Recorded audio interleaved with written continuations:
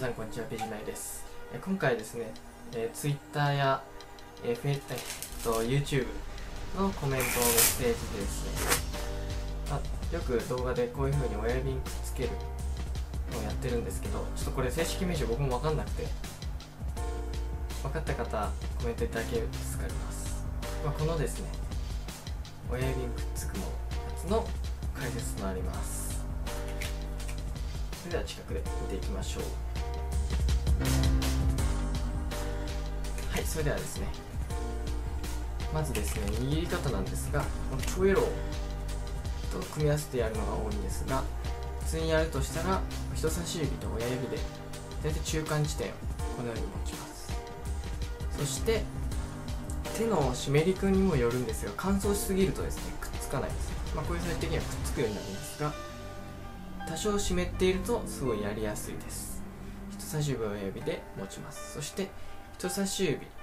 で力を入れて貼り付けるっていうのがあるんですが、まあ、ただこのままやっても貼り付きにくくなっているので、まあ、できる方はあのできるんですが締め切りがちょうどいい方はできるんですがよりくっつきやすくするためにこの人差し指と親指このようにくっつけるのではなくてここの人差し指第一関節に押し当てるような感覚です。つまり持ち方がこうではなくてこうこういうことになるってことですねこういう感じですね。このよう形になってこういうふうにトゥイローでやった後にこの位置から人差し指だけこのようにで押し付けます。カードを押し付けます。こうすると長時間くっつきやすくなります。こんな感じですね。結構長く。普通にこうやってもいいんですがちょっと表面積がですねこの人差し指だけだと小さいのでよりこっちの方が表面積が大きくて押し付ける力が加わるのでくっつきやすくなるということになります、ま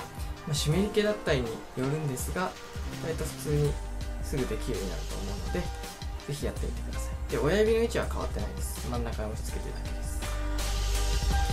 ういう形です。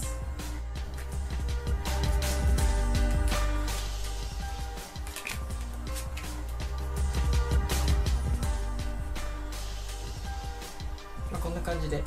ろんなコンボにも活かせる技法なのでぜひ皆さん練習してやってみてください。ということで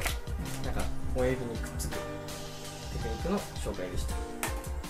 最後に外れちゃうっていうね。はいありがとうございます。結構長いですね。